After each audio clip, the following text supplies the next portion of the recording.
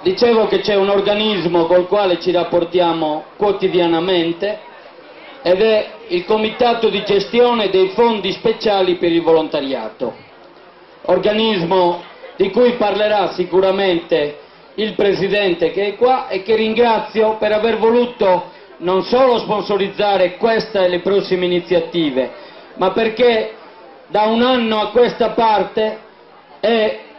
diciamo, compagno di viaggio in tutto il percorso che il mondo del volontariato sardo fa. Abbiamo avuto qualche problema qualche anno fa,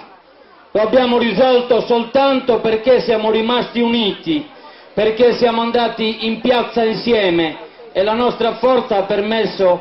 che non si realizzassero logiche disgregative rispetto a questa realtà.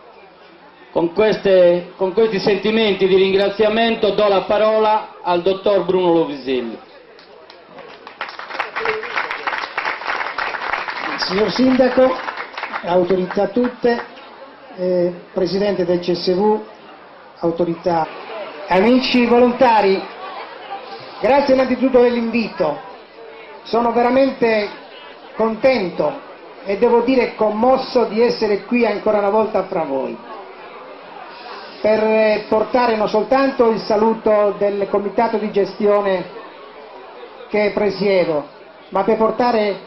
il mio ringraziamento per tutto ciò che fate a favore dei più deboli. Ancora una volta ho potuto constatare la vostra enorme capacità di mobilitazione e la vostra capacità organizzativa, veramente eccezionale. E ora consentitemi, visto che stiamo celebrando l'apertura dell'anno europeo del volontariato, alcune considerazioni e valutazioni personali. Il volontariato ha una forte valenza educativa che può e deve aiutare tutti a scoprire la cultura della solidarietà, della non discriminazione, dello sviluppo sostenibile del rispetto del prossimo e della cittadinanza responsabile. L'anno europeo del volontariato può essere considerato come un'ulteriore possibilità offerta per affermare con più forza i diritti dei più deboli, occasione di far quadrato in un momento, oserei dire, storico per questa società che è attraversata da una crisi non solo economica, ma soprattutto di valori che si sta insinuando sempre più nelle nostre comunità.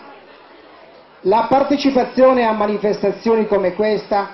ci riempiono di orgoglio e ci danno la forza di poter proseguire con rinnovato vigore e impegno nella quotidiana lotta contro le disuguaglianze, per dare risposte concrete a tutti coloro che si rivolgono al mondo del volontariato con fiducia e speranza e dare agli stessi volontari il coraggio di affrontare i bisogni vecchi e nuovi con rinnovato spirito di solidarietà. Mi auguro che l'anno europeo del volontariato contribuisca per la definizione di un quadro normativo stabile che dia certezza nel tempo su risorse finanziarie che aiutino il volontariato a meglio strutturarsi. Il rischio però è che questo anno europeo diventi solo un momento celebrativo è notevole, ma sta a noi evitare che ciò capiti e che venga finalmente riconosciuto il capitale sociale espresso dal volontariato e questo valorizzato. E qui un ruolo importante, consentitemi,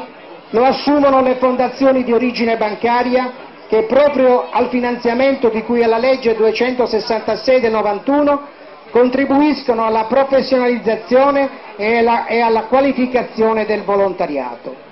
In questo processo condiviso e partecipativo gli obiettivi a cui tendono tutti i soggetti coinvolti sono la valorizzazione del volontariato e del suo impatto per la costruzione di meccanismi stabili e durevoli che lo supportano in quanto elemento fondante della cittadinanza attiva, condivisa e solidale. La diffusione delle iniziative e delle informazioni a livello locale e la valorizzazione dei risultati e dell'impatto utile e accessibile alle organizzazioni territoriali e alle loro reti. la pratica del partenariato del lavoro di rete attraverso iniziative comuni e coprogettate, attraverso l'aperta condivisione di buoni esempi e buone prassi,